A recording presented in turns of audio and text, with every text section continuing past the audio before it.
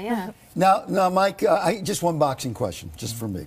You got the, the heavyweight champions, the Klitschko brothers. They, they so dominate the boxing in the heavyweight division. They're all six foot seven and 275 pounds, and they're incredibly in shape. You're 5'11", 5'10", you were 220 when you fought.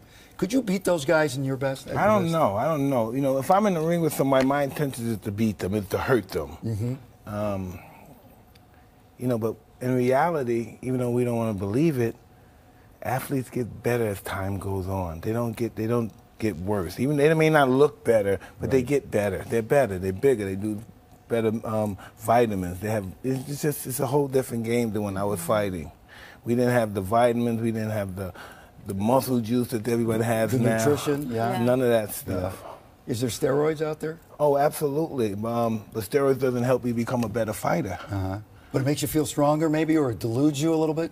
Absolutely. Mm-hmm. There's no doubt about it. If you've seen there's guys here that use steroids, they use GH, and they got beat, they got knocked out. Mm-hmm. And um, the spirit makes you a great fighter, not drugs, anything. Right. It makes you look better. And the muscle bound, the muscle bound boxer never is not always the successful boxer.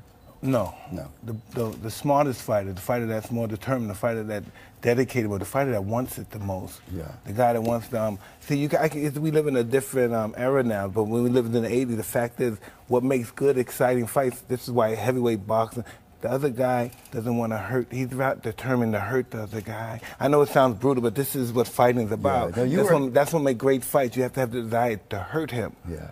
You know, and if he has the desire to hurt you, then that's going to be a great yeah, fight. You have a fight.